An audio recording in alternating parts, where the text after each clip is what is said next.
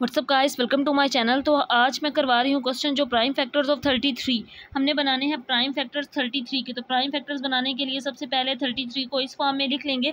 अब बनाएँगे इसके प्राइम फैक्टर तो हम लास्ट डिजिट से देखेंगे थ्री है और नंबर है। आप टू के टेबल में नहीं कर सकते।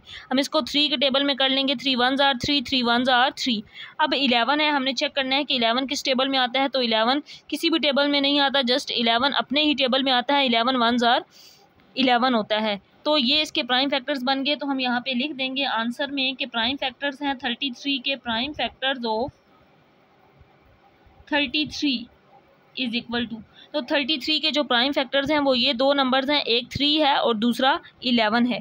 तो अगर हम चेक भी करें कि हमारा आंसर ठीक है या नहीं तो इलेवन को थ्री से मल्टीप्लाई कर लें तो आंसर वही आएगा जिस नंबर के हमने फैक्टर्स बनाए हैं। इलेवन थ्री ज़ार थर्टी थ्री तो ये दो फैक्टर्स बने हैं, एक थ्री है और एक इलेवन है, जिसको हमने यहाँ पे लिख दिया है। तो प्राइम फैक्टर्स थर्टी थ्री के दो हैं, एक थ्री है, एक इलेवन है। तो इस तरह हम किसी भी नंबर के ईजिली प्राइम फैक्टर्स बना सकते हैं।